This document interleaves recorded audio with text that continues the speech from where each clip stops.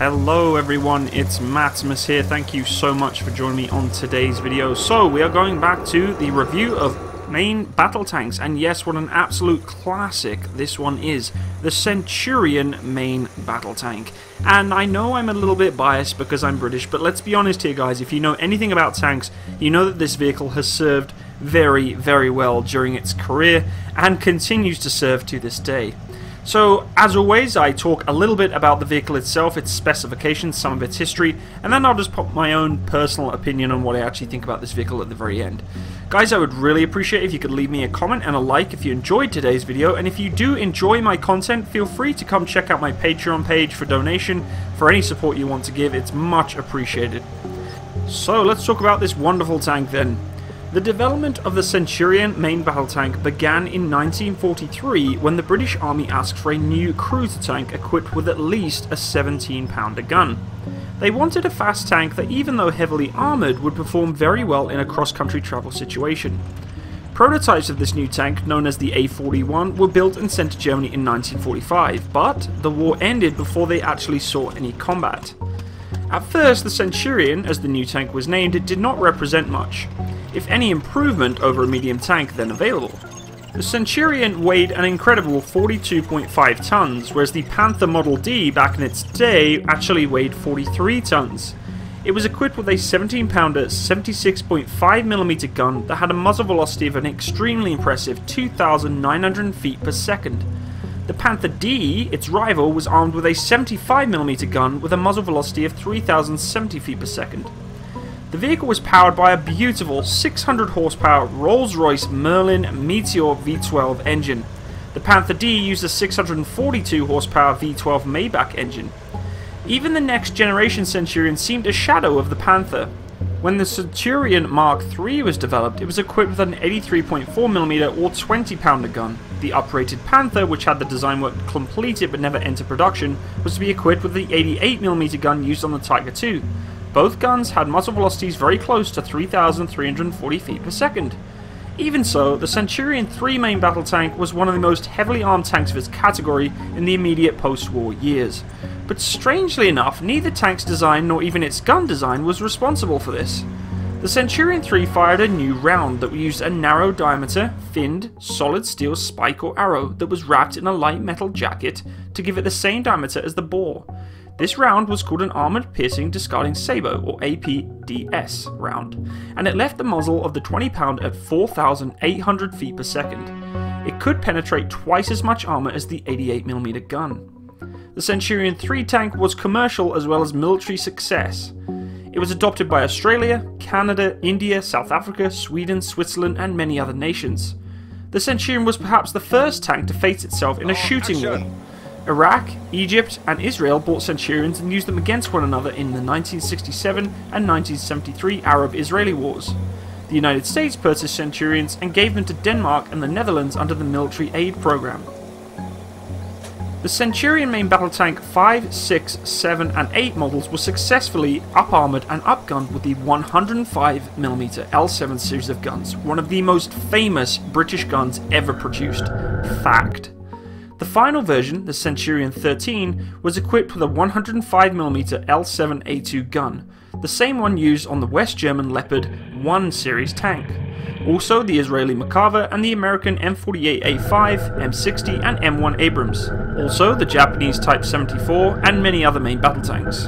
The tank's hull was divided into the usual three compartments. The driver's compartment was in the front, the fighting compartment was in the centre. The engine compartment was at the rear and separated from either two compartments by a fireproof wall.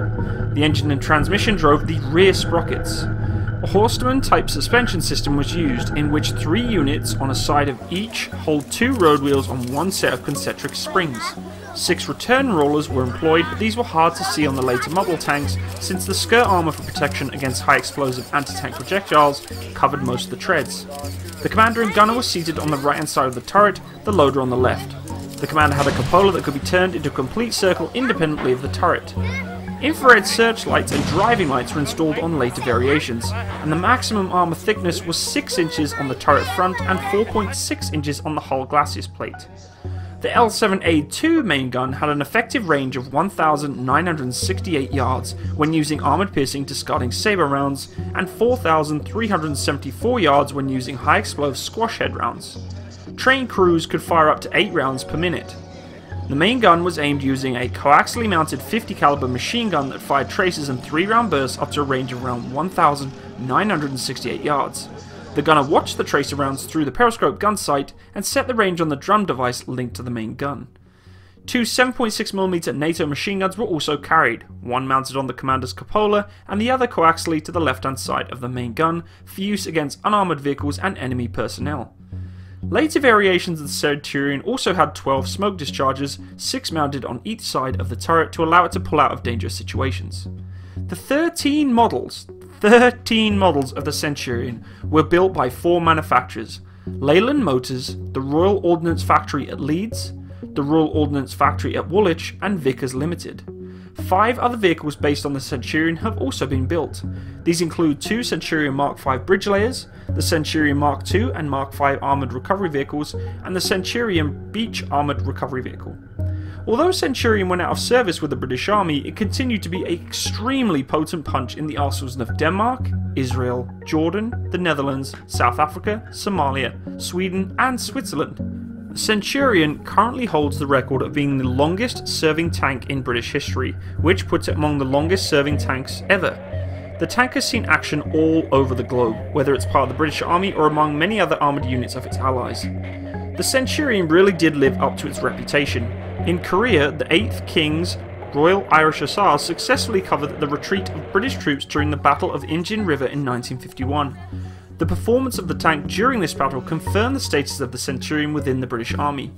US General John O'Daniel famously stated regarding the tank of the 8th Hussars Regiment that they were able to dominate the battleground completely, including rough mountain terrain.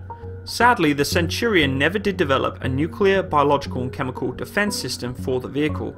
It also did not have amphibious capabilities, and to be honest with you, I would never want to try and get any type of water with this thing. However, a deep fording kit was developed, as was a frontal dozer blade so it could dig into firing positions, very key for defense.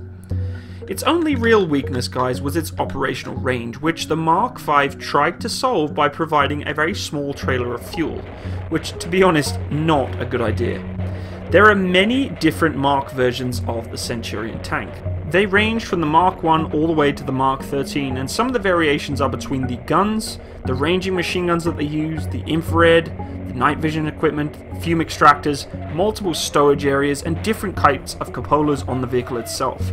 Obviously, other vehicles were up armored with different armor packages, and different main gun mantles and canvas covers were placed onto the vehicle. Mainly though, we're talking about the firepower and up armoring of the vehicle, and overall they're very similar in terms of the chassis setup of the vehicle. Production of the Centurion ended in 1962, by which stage the massive 4,423 lump load of vehicles had been produced and manufactured by ROF Leeds, Vickers and Leylands, of which 2,500 were exported. That is a huge amount of tanks to send abroad, guys. However, most were pretty much replaced by the former operators with German Leopard 1s. Operators have included Australia, Austria, Canada, Denmark, Egypt, India, Iraq, Israel, Kuwait, Lebanon, Jordan, Netherlands, New Zealand, Singapore, South Africa, Sweden, Switzerland. As it stands, the Centurion still remains a quite a pertinent presence, albeit limited, in the modern world.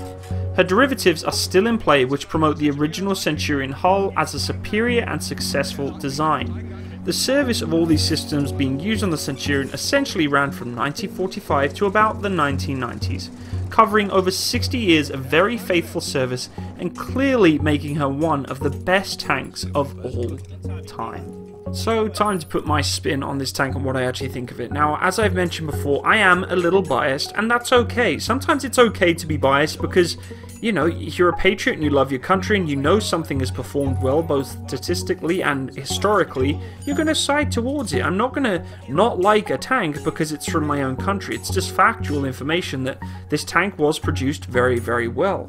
Whether it be from the L7 rifle gun that the tank used, the innovative new armored piercing discarding sabot round that these vehicles used, it did very, very well worldwide, and that speaks for itself, guys.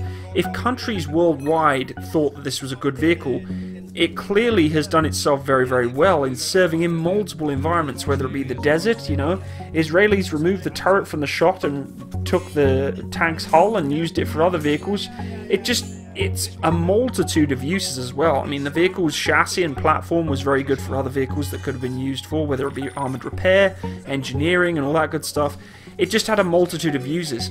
The Rolls-Royce engine, again, clearly a very reliable, very powerful engine, and for its day, of course, and we're talking about a tank that was designed, you know, almost 70 years ago or more, uh, which is incredible to me that a tank like this is still rolling um, looking at this track not being live and spring-loaded is, is kind of cringe, though, I must admit. I can't imagine having a track like that, driving with, uh, you know, non-live loaded tracks. But uh, this, again, tells the tale of how reliable these vehicles would have been, and they're still using them today. You know, live track is a very standard now, uh, and these vehicles still don't use live track.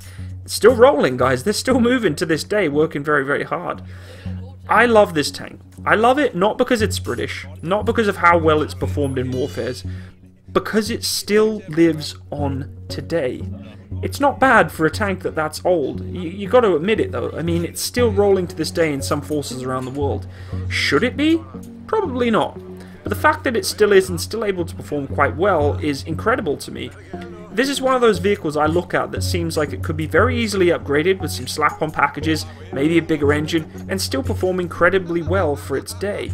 It's not a modern type vehicle. It's not going to be able to take on modern type armored vehicles, but it would be very good at being able to support within an insurgent role or, you know, being able to provide overwatch for troops on the ground or even taking out small armored personnel carriers and such. It's never really designed for the modern conflicts, which is why a lot of people give this vehicle a hard time when they see it on the TV or they see it in, you know, on footage and stuff. They're like, oh, what the hell's a Centurion still being used today for? because it still works. It still does the job. It's the same question can be asked for many tanks out there. Why are we still using the T, you know, T62? Why are we still using the T72? These are old tanks, maybe not as old as this one, but the fact that this vehicle is still rolling and still putting rounds down range out there baffles me but also makes me extremely proud to know that this tank is from both the UK and serving very very well around the world. So for me, guys, this vehicle is a classic. It's kind of like a classic car. You know, it, it, it, gets better with age. And I look at this tank and that's what I think. It's like a fine wine. It just gets better with age. It's uh, a, a tank that defies history. Should it be defying history? Maybe not. But it is, and that makes me very, very happy. So I love the Centurion tank. Guys, I would really appreciate if you could leave me a comment. Let me know what you think of this tank. Do you think it's a vehicle that should still be serving today? Uh, do you think it's a classic? Do you think it's a good tank? And let me know your reasons why. I appreciate you stopping by today, and as always, I would love it if you could leave a like and check out my Patreon if you do wish to support my channel. As always, you can also go to Facebook and add me as a friend on there and get updated for any new videos coming out. With that being said, hit that little bell too and you'll be able to be notified of any more military or gaming videos that come up in the future. Thanks again for watching guys, have a great day and bye bye.